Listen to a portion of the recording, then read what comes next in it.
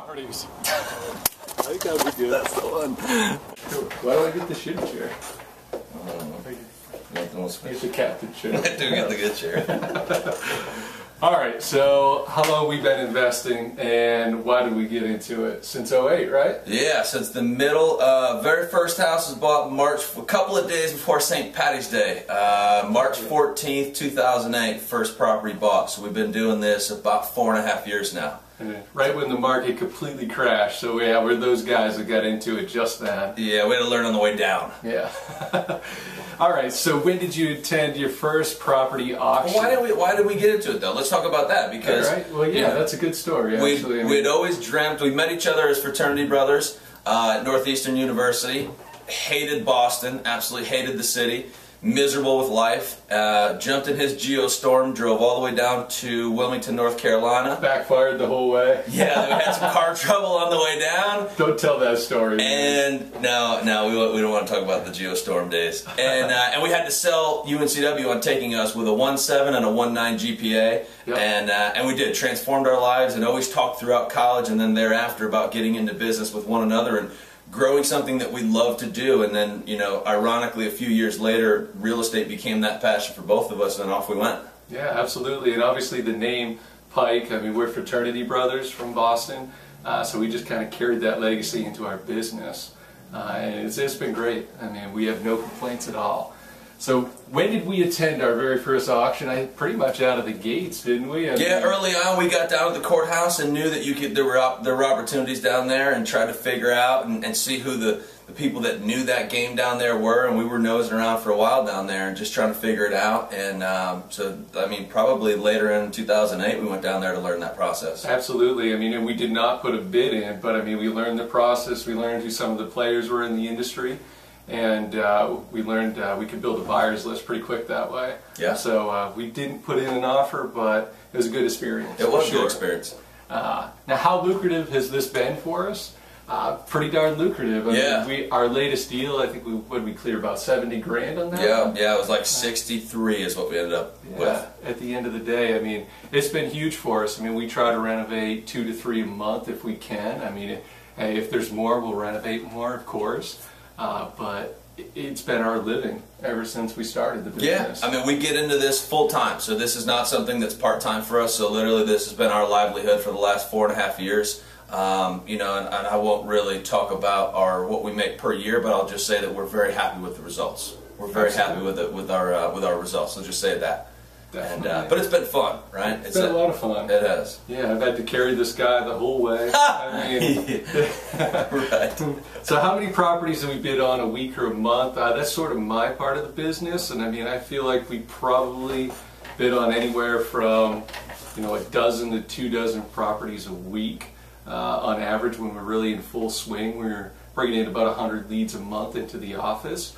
Uh, so yes, obviously we look at auction properties, REOs, short sales. We kind of jack of all trades in real estate investing. Uh, does that sound about right to you? Yeah, that- yeah, that's right on. yeah.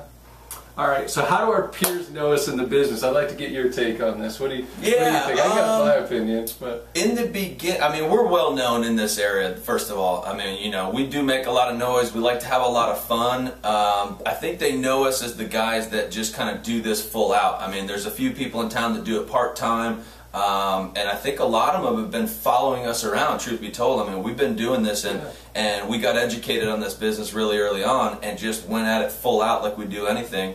And they've kind of followed us around town and the areas that we go, and it's been fine, right? But I, I would say that a lot of other investors have kind of rode our coattails, and, and we've been pioneers in a lot of these neighborhoods, and that's flattering, you know. Uh, but it does create for some competition too. And uh, I think they know us as just the guys that are the pioneers in this business, and you know, there's those young guns coming in, and um, you know, maybe some of the people that have been doing this a long time. They really don't want to let us in their club a lot of times. absolutely. There's kind of a good old boys club here that needs a little bit of disruption, and uh, but we they know us as the ones that just have fun, but we take this very serious. and you know what a lot of our clients say that we go out and meet with. We always hear the property brothers. We always hear that. Oh, yeah. Everyone thinks we're brothers. Yep. Uh, we're not fraternity brothers, but uh, just a little bit different. I mean, I mean, lucky for this guy, everyone thinks he's my brother. But Uh, I said, I said, don't, don't. You, that's the you had the you offended me right there to say that we're related, right? Oh man, so I think uh, honestly we've talked about this in the past, and the type of investors that we are. I think we're the honest investors. Yeah. I mean, we, obviously we like to have fun in our business.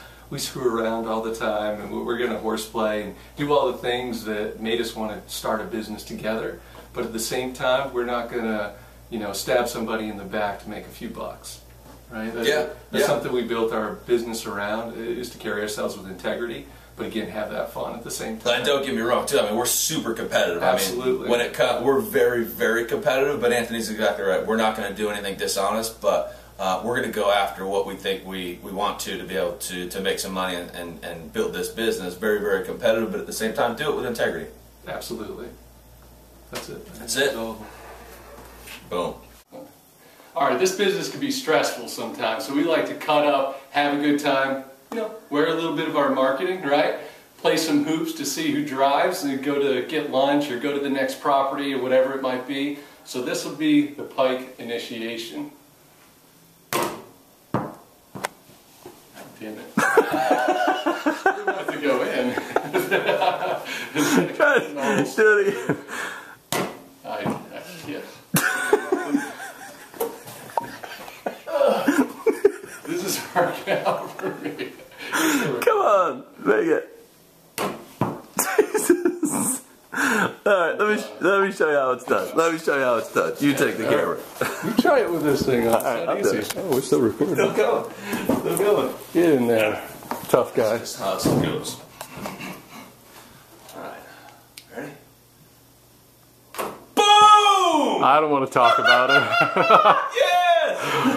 oh man. Hey, it ain't easy being a winner. All right, I got to redeem myself from the basketball experience and see how the golf games treat me today. Mm. Not as good as the basketball game. Here we Cl- go. Close only counts in horseshoes and hand grenades. That was worse than the first one. It's the carpet, man. It's the carpet. You gotta play the breaks. Play the break. Hey! There you go. Oh, a little strong. Uh, come A little strong. Count that. Uh. you think you can do better? Yeah, I do. If I make one of these, you drive to lunch and every property for the next month. For the next month, please. If I make the first one, that's how it's gonna go. Oh gosh, not good. That's a little off. There it is. There it is. No! Third time. Third time's a charm. It is not a charm, my friend. At least I hit the cup, you know. I hit it once. I, I think I won that one. Just No saying. winner. You can't be the. You can't win just because you hit the cup. Well, at least Both losers.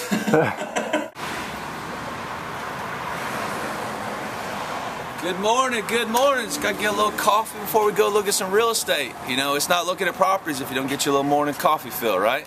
So, uh, what are you drinking over there, buddy?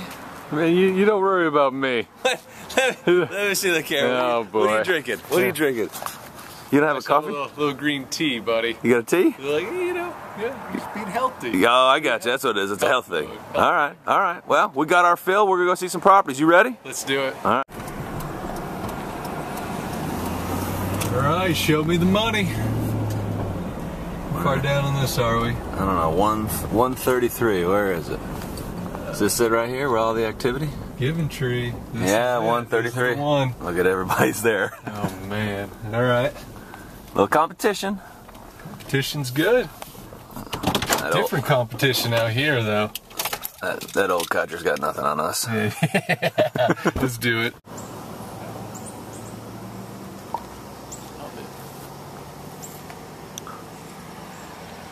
All right, one one guy's out. He already bowed out. Said the neighbor was too much for him, so I got to scope out the neighbor and see what they look like. He's done. We got these two guys still here checking it out, though. Just mulling it over. Just thinking about it. Let's check out the back of the house. All right, let's go. How are you? Good. First thing you like to do. Oh, Ooh, got a jungle gym meets the carnival. What? meets hoarder. What is that? What is all that stuff? What are these? like giant ice cubes. No, they're uh, they're like flotation things. building an igloo out here. Building an igloo. wow, I've Play never. some hoops. You never know what you're gonna get, huh? This isn't gonna help. Got like a chicken coop back here too. Hey, I think we need to put a uh, a fence into the budget, eh? yeah, privacy fence. Do they make do they make ten foot fences? They might for this one. I think we'll have to make one. Dude, look at that thing. What is that? It's uh, welcome to Charlotte. they have small. Actually, welcome to Matthews. yeah, true. It looked like it was. It it's supposed to be a good idea. I, I feel like I should be on vacation in like Tahiti or something. Yeah, where's the hammock? Yeah. All right, so we rolled up immediately, and there are three people here, three different people, all looking at the house. It's a hut house. We heard right out of the gates there's some serious foundation problems, and you can see here that there is. So when you talk about minor settlement cracks, that's not what we're talking about here. This is pretty major. Uh, basically, Anthony just pointed out that all this dirt in here, if you look at it, everything's been flowing into the house. There's basically a channel where all the water's been coming in right against the foundation that caused this whole thing to give way. And you can see that's a pretty significant crack. Again, this is going to be something that scared most people away. I'm not afraid of as long as we know we can account for it in the budget. But uh, that that, that not, does not qualify as minor hairline crack. So kind of a technical thing, but uh, that's major settlement. Uh, Matt, where are you right now, actually? I'm under the deck. it's a fantastic deck, by the way, built built out of twigs, two by fours. This probably have to go too. So, Matt, what just happened there? What just happened? I don't know. I'd love that would have made for great TV if we could have actually filmed it. But Anthony said I think if I kept filming, the guy was going to punch me because he get he got really irritated. Real estate agents crack me up, and he kind of comes up all puffed out like, What are you doing here? What are you doing here? I'm like, what do you think we're freaking doing here? We're looking at the house. Well, I have a showing. I said, well, we have a showing as well. And he says, well, they don't ever double book. I was like, yeah, actually they do all the time. Why does it bother you? What's your problem? Well, I was getting ready to leave and I'll lock up. I said, okay, I'll lock up. So Anthony had to go to the truck and prove that we're a realtor. It was so funny that he comes up and he's like, what are you doing here? I'm like, what the frick do you think we're doing here, bonehead? So We're looking at this. We're looking at the same piece of crap you are. Look at the same house that's fallen down as you are. So let's check this thing out. So uh, from the outside, we already know we've got some pretty major issues as far as settlement. So I'm going to start to look and see, do we have that anywhere else? Uh, at first glance, I mean, this layout is all right. I've got kind of a weird post that I think we'll have to deal with here. Hey, hey, Matt, why don't you get the light on that? Yeah, let me turn this light on. It's custom. It's custom. There's actually the, the dimmer. It's built right in, and we got a, we got a receptacle down there too. High class. That, that's pretty uh, pretty legit there. I don't like this. Kitchen's really closed off, so obviously we'd have to open this up. I think we're you're looking at probably four to six grand, depending on what you do, how you open it, the level of cabinets that you're going to put in. This obviously has to change. It's not terrible, uh, but obviously this all needs to be redone. So this goes out to the driveway. Let's check out what we got here. Beautiful. Look at this. Oh, I like it. Ooh, what's that smell? Mold. That's the smell of money. That's the smell of money It does right smell there. like money, actually, my friend. Good point. It does smell like money. So immediately in here, I know. Come in and check this out too, if you can get in here. I mean, this literally is moldy as hell. I mean, look at all this. All this has been rotted out. So obviously we've had some leaking down here. Behind, look at behind the hot water heater, man. That thing is nasty. Whoa, that's gnarly right there. That is what you call Holy black mold, my friend. Luckily, we're in here sucking it all in. Yeah, we should have brought, brought our mold masks with us. So uh, we'll have to redo the electrical in here as well. Um, but uh, yeah, let's check out the rest of it. See what other surprises we have. So this is where uh, this is where the chopped up addition starts. So we got another door to be able to get outside of the deck that I was just underneath. That's made out of toothpicks and twigs. All right, here's a recap of everything we've looked at. First of all, we've actually worked with Brandy before. The last deal, the most recent one we've done that we made about $70,000 in profit on was through Brandy in one of her listings. Uh, on this one, I think we initially have to get it in the low 30s. Uh, Matt's guesstimating anywhere from 60 plus in rehab, easy because of the foundational issues.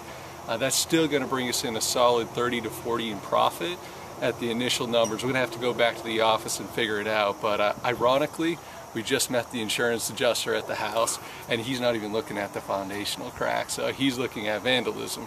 So it's just another thing to add to the list. So hopefully we can get a killer deal at a huge steal at this one.